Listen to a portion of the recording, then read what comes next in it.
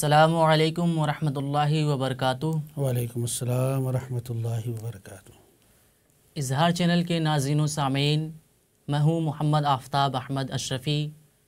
आप देख रहे हैं अपना पसंदीदा प्रोग्राम दीनी व फ़िक़ी मसाइल जिसमें आज हमारे साथ मौजूद हैं हिंदुस्तान की अजीम दरसगाह जाम अशरफ के बावक़ार व बासलाहियत उस्ताज़ हज़रत अल्लामा व मौलाना मुफ्ती नज़रुलबारी अशरफ़ी जामई साहब क़िबला, जिनसे हम आज शहरी के ताल्लुक़ से कुछ मालूम हासिल करेंगे। जी मुफ्ती साहब, हमारा सवाल है कि रोज़े के लिए शहरी करने की अहमियत और उसकी फ़जीलत क्या है? बिस्मिल्लाहिर्रहमानिर्रहीम। अल्हम्दुलिल्लाहि वस्सलातु वस्सलामु अला वल मुरसलीन रमज़ानुल मुबारक में सहरी खाने की फजीलत और उसके फ़यूज़ बरक़ात का बकसरत तज़करा हमें अहादीस मुबारक में मिलता है। क्योंकि हुजूर नबी अकरम सल्लल्लाहु अलैहि वसल्लम बिल इल्तिज़ाम रोज़े का आगाज़ सहरी से किया करते थे। यानी आप सल्लल्लाहु ताला अलैहि वसल्लम जब भी रोज़ा रखते तो सहरी ज़रूर किया करते थे। और दूसरों को भी शहरी खाने की ताकीद फरमाते थे। अहादीस मुबारक में इसका सबूत मिलता है। जैसे हज़रत अनस बिन मालिक रदी अल्लाह तहों से मरवी है कि हुजूर नबी करीम सल्लल्लाहु अलैहि वसल्लम ने इरशाद फरमाया, तसहरू फ़िन्ना फ़िसहूर बरकतन। ये हदीस मुस्लिम शरीफ के अंदर मौजूद है किताब किताबुस्याम में। इसका माना है सहरी खाया करो, क्योंकि सहरी में बरकत है। इसके अलावा हज़रत अबू सईद खुदरी रदी अल्लाह तहों से मरवी है कि हुजूर नबी अकरम सल्लल्लाहु अलैहि वसल्लम ने इरशाद फरमाया असहूर अकलहू बरकतन फ़ला तदऊह। यानी सहरी सरापा बरकत है, इसे तर्क ना करो, इसे ना छोड़ो। हज़रत अबू सईद खुदरी रदी अल्लाह तहो ही से मरवी है कि हुजूर नबी अकरम सल्लल्लाहु अलैहि वसल्लम ने यह भी इरशाद फरमाया फ़िन व मलाइकतहू युसल्लूना अलमुतसहरीन यह हदीस मुसनद अहमद बिन हम्बल के अंदर मौजूद है। इसका तर्जुमा यह है कि अल्लाह ताला और उसके फ़रिश्ते शहरी करने वालों पर अपनी रहमतें नाजिल फरमाते हैं। एक और हदीस है, हज़रत अमर बिन आस रदी अल्लाह तहों की। उनसे मरवी है। हुजूर नबी करीम सल्लल्लाहु अलैहि वसल्लम से रवायत करते हैं कि हुजूर ने इरशाद फरमाया, फ़सलो माबैना सियामिना व सियाम अहल किताब अकलतुसहर यह हदीस मुस्लिम शरीफ के अंदर मौजूद है, जिसका तर्जुमा यह है कि हमारे और अहल किताब के रोज़ों में फ़र्क यह है कि हम शहरी खाते हैं और वो लोग शहरी नहीं करते हैं। एक और हदीस है, हज़रत इरबाज़ बिन सारिया रदी अल्लाह तहुमा से मरवी है। वो फरमाते हैं कि मैंने नबी करीम सल्लल्लाहु अलैहि वसल्लम को ये इरशाद फरमाते हुए सुना।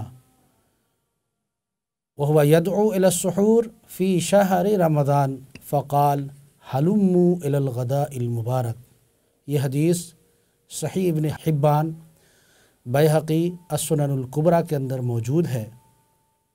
इसका तर्जुमा यह है कि आप सल्लल्लाहु अलैहि वसल्लम रमज़ानुल मुबारक में सहरी के लिए बुलाते और इरशाद फरमाते, आओ सुबह के मुबारक खाने पर हाजिर हो जाओ। यानी सहरी मुराद है।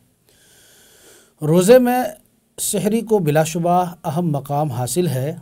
इन अहादीस से तो ये बात साफ़ तौर पर वाज हो जाती है कि सहरी करना बरकत है। सहरी करने में हमारे लिए एक तरह की आसानी भी है और नबी अकरम सल्लल्लाहु अलैहि वसल्लम की सुन्नत भी है। रूहानी फ़यूज़ बरक़ात से क़त नज़र, नबी करीम सल्लल्लाहु अलैहि वसल्लम की सुन्नत, इन सब चीज़ों से क़त नज़र अगर अब ये भी देखें तो भी हमें शहरी का फ़ायदा ज़्यादा समझ में आता है। वजह यह है कि जब हम शहरी खा लेते हैं तो दिन भर रोज़ा रखने में हमें तकवीत मिलती है। वो एक जो लागर और कमज़ोरी और एक नकाहत का जो एहसास होता है, शहरी करने की वजह से वो नकाहत और कमज़ोरी कम हो जाती है। इस वजह से दूसरा फ़ायदा हमें ये मिलता है कि हम रोज़े की हालत में जो रोज़मर्रा का काम किया करते थे और दिनों में रोज़े की हालत में भी वो काम हम बसानी कर लेते हैं। अलावाजी नमाज़ों को पढ़ने में भी हमारे अंदर कोई इस तरह की कोताही या इस तरह की कोई बेरगबती पैदा नहीं होती या अपने आप को कमज़ोर महसूस नहीं करते, चुस्त तवाना होकर हम इबादतें कर सकते हैं। ये शहरी की वजह से ऐसा मुमकिन है। इसके अलावा भी शहरी का ताल्लुक़ चूँकि रात को जागने से है।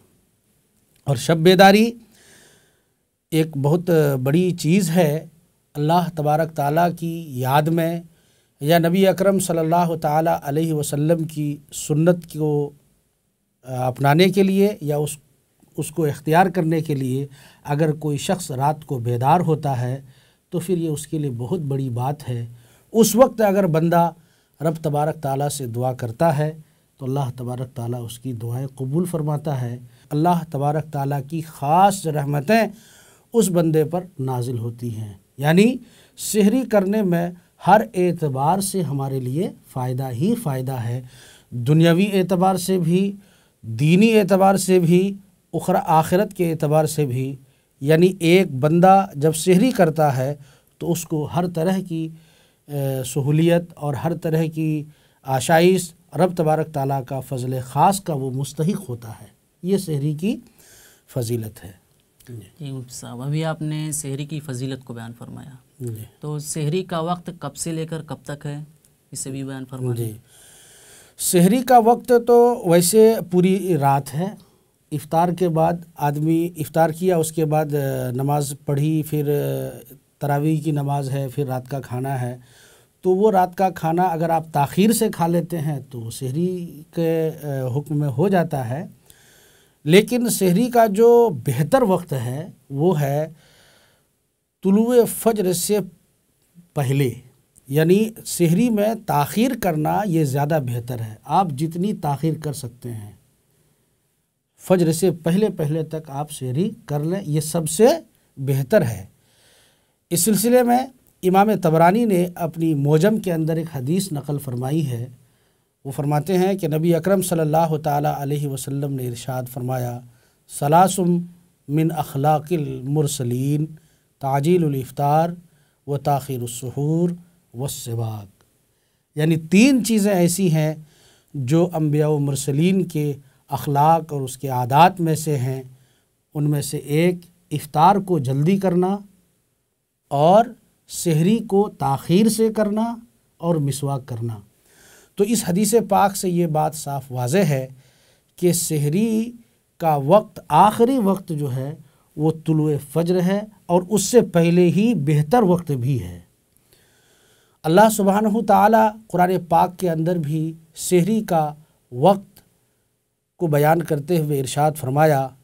कुरान पाक के अंदर सूर बकरा आयत नंबर एक सौ सतासी, उसमें अल्लाह तबारक ताली इरशाद फरमाता है, कुलू वशरबू हत्ता यतबैन लकुमुल खैतुल अबयज़ मिनल खैतिल असवद मिनल फ़ज्र यानी खाओ और पियो यहाँ तक कि फ़ज्र के वक्त में तुम्हारे लिए सफ़ेद धागा, काले धागा से वाज हो जाए। सफ़ेद धागा और काला धागा, कुरान पाक के अंदर खैतुल अबियज़ और खैतुल असवद का लफ्ज़ आया है। एक सहाबी रसूल है, हज़रत अदी बिन हातिम। वो फरमाते हैं कि जब ये आयत नबी करीम सल्लल्लाहु अलैहि वसल्लम ने अपने ज़बान मुबारक से तिलावत फरमाई तो मैं दो धागे को, एक काला और एक सफ़ेद, दो धागे को अपने तकिया के नीचे लेकर सो गया। सोया उसके बाद सुबह हुई, काफ़ी वक्त गुज़र गया तुलु फ़ज्र भी हो गया, फ़ज्र की नमाज़ भी लोग पढ़ लिए। उसके बाद भी हम जब तकिया हटा के देखते हैं तो वो सफ़ेद धागा काले धागा से नुमाया नहीं है।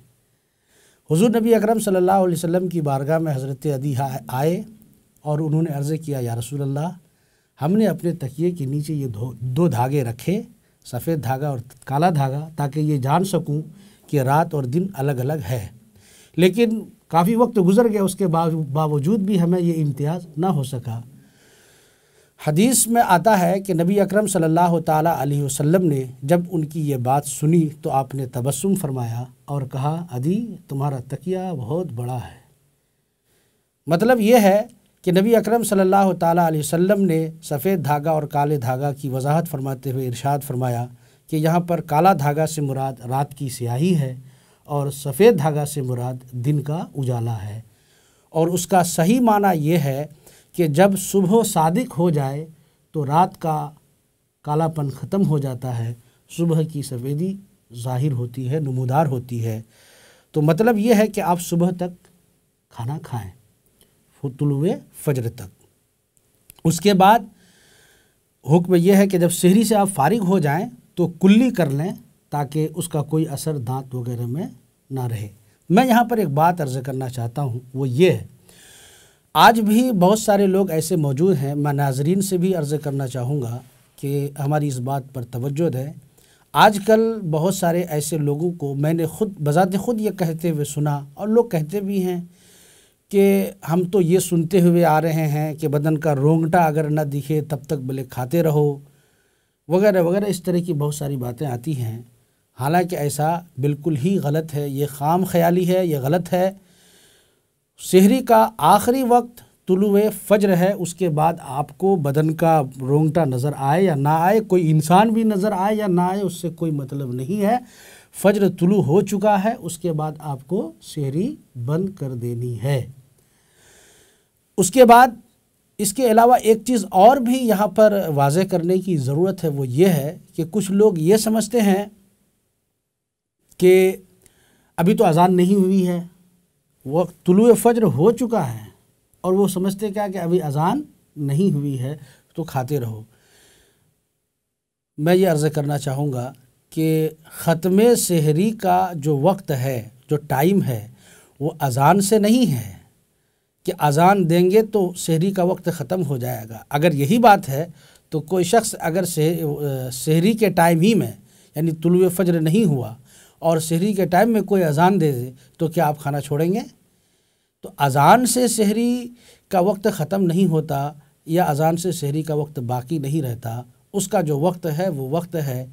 अजान को अगर किसी ने मौखर कर दिया, से ख़त, ख़त्म शहरी से, कुछ ताखीर से दिया तो इसका मतलब ये नहीं है कि अभी शहरी का वक्त बाकी है, बल्कि शहरी का वक्त ख़त्म हो चुका है।